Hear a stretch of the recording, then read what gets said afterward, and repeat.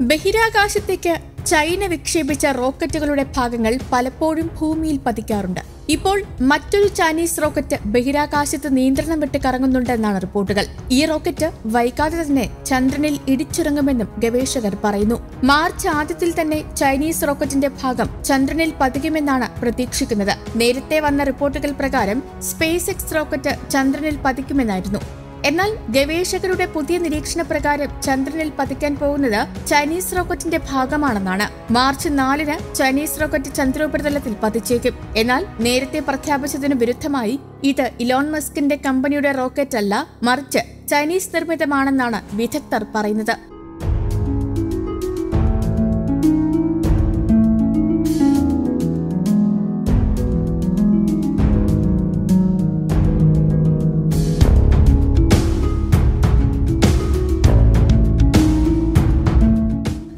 ബഹിരാകാശ ഏജൻസിയുടെ ചാന്ദ്ര പര്യവേഷണ പദ്ധതിയുടെ ഭാഗമായി രണ്ടായിരത്തി പതിനാലിൽ വിക്ഷേപിച്ച ചാങ് ഇ ഫൈവ് ടി വണ്ണിന്റെ ബൂസ്റ്ററായ twenty fourteen zero six five A ആണ് ഇപ്പോൾ നിയന്ത്രണം വിട്ട് ചന്ദ്രനും ഭൂമിക്കുമിടയിൽ കറങ്ങുന്നത്. ശാസ്ത്രജ്ഞരായ ബിൽ ഗ്രേ ആണ് അപ്രതീക്ഷിതമായ ഈ പ്രഖ്യാപനം നടത്തിയത്. സ്പേസ് എക്സ് റോക്കറ്റ് എന്ന് നേരത്തെ പറഞ്ഞത് തനിക്ക് സംഭവിച്ച തെറ്റാണെന്നും അദ്ദേഹം കൂട്ടിച്ചേർത്തു. ചൈനീസ് റോക്കറ്റിന്റെ ഇടിച്ചിറങ്ങലിലൂടെ ചന്ദ്രോപരിതലത്തിൽ രൂപം കൊള്ളുന്ന ഗർത്തം നിരീക്ഷിക്കാൻ ശ്രമിക്കുമെന്ന് നാസയും അറിയിച്ചിട്ടുണ്ട്. ചന്ദ്രന് ചുറ്റും ഭ്രമണം ചെയ്യുന്ന നാസയുടെ ഡ്യൂണാർ റെക്കനൈസൻസ് ഓർബിറ്റിലെ ക്യാമറകളാകും ഇത് നിരീക്ഷിച്ച് ചിത്രീകരിക്കുക.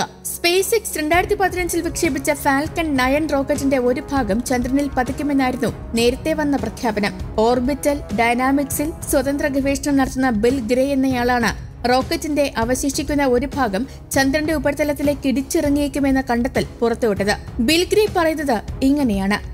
കഴിഞ്ഞ വർഷം മാർച്ച് നാലിനു ശേഷം എനിക്ക് ആ റോക്കറ്റ് ഭാഗത്തിന്റെ പാതയിൽ മാറ്റം കാണാൻ കഴിയും. ചന്ദ്രനുമായി കൂട്ടിയെടുക്കാനുള്ള പാതയിലാണ് റോക്കറ്റ് എന്ന് പിന്നീട് മനസ്സിലായെന്നും അദ്ദേഹം കൂട്ടിച്ചേർത്തു. കൂട്ടിയിടിയിലൂടെ ചന്ദ്രനിൽ പുതിയൊരു ഗർത്ത രൂപപ്പെടുമെന്നും ബഹിരാകാശ അവശിഷ്ടങ്ങളിൽ ചന്ദ്രനിലേക്ക് ഇടിച്ചിറങ്ങുന്ന ആദ്യത്തെ സംഭവമായിരിക്കുമിതെന്നും ഗ്രേ പറഞ്ഞിട്ടുണ്ട്. കൂട്ടിയിടിയിലൂടെ ചന്ദ്ര ഉപരിതലത്തിന് കാര്യമായ നാശമുണ്ടാകില്ല എന്നാണ് കരുതുന്നത്. ഈ മാസം ആദ്യം ഗ്രേയുടെ ബ്ലോഗ് പോസ്റ്റ് വന്നതിനു പിന്നാലെ മറ്റു ഗവേഷകർ റോക്കറ്റിന്റെ പാതയെക്കുറിച്ച് പഠിക്കുകയും ഗ്രേയുടെ കണ്ടെത്തൽ ശരിവെക്കുകയുമായിരുന്നു. നാല് മെട്രിക് ടൺ ഭാരമുള്ള റോക്കറ്റ് ചന്ദ്രന്റെയും ഭൂമിയുടെയും എതിർവശത്താകും പതിക്കുക. മാർച്ച് ആദ്യത്തിൽ കൂട്ടിയിടി ഉണ്ടാകുമെന്നാണ് ഗവേഷകരുടെ അനുമാനം. സെക്കൻഡിൽ രണ്ടേ ദശാംശം അഞ്ച് എട്ട് കിലോമീറ്റർ വേഗത്തിലാകും റോക്കറ്റ് ചന്ദ്രോപരിതലത്തിലേക്ക് പതിക്കുക. എന്നാൽ ചില ശാസ്ത്രജ്ഞർ റോക്കറ്റ് ചന്ദ്രനിൽ പതിക്കുന്നതിൽ കൗതുകമുണ്ടെന്നും എന്നാൽ അത് വലിയ സംഭവമല്ല എന്നുമാണ് പ്രതികരിച്ചത്. ചൈന ഇതുവരെ ഈ സംഭവത്തോട് പ്രതികരിച്ചിട്ടില്ല.